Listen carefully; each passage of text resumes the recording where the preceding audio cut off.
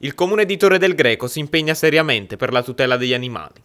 Accordo fra amministrazioni e volontari del GAB per garantire un impegno su tutto il territorio cittadino. Le guardie ambientali si occuperanno delle deiezioni canine non raccolte, educando anche gli incivili, tuteleranno maggiormente le numerose colonie feline e interverranno in caso di maltrattamenti. È un protocollo che vede la nostra partecipazione chiaramente gratuita, ma il nostro impegno che resterà sempre costante. È una situazione non semplice, il territorio del comune di Torre del Greco conta all'incirca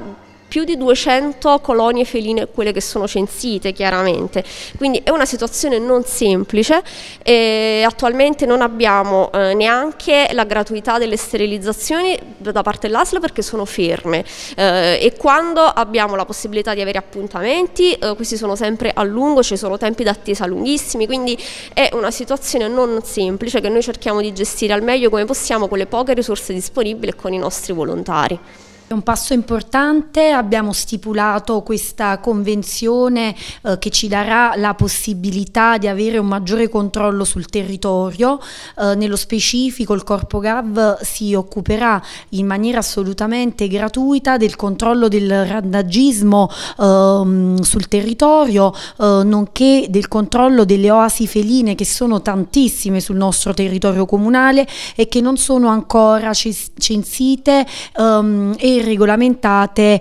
a um, dovere. Faranno anche tutta un'altra serie uh, di attività in collaborazione con i nostri uffici, um, controllo del, dei microchip uh, degli animali domestici, um, si terranno delle iniziative per poter distribuire uh, mangime, coperte per gli animali e supporteranno anche gli uffici nella progettazione di ulteriori interventi da farsi a favore degli animali. Da circa due anni io um, sto lavorando uh, a questo ufficio, abbiamo raggiunto già una serie di traguardi anche a livello uh, di, di, numeri uh, di cani che abbiamo nel nostro canile comunale, numero che sta scendendo fortemente in quanto siamo riusciti sia con una eh, campagna adozioni a farne adottare alcuni,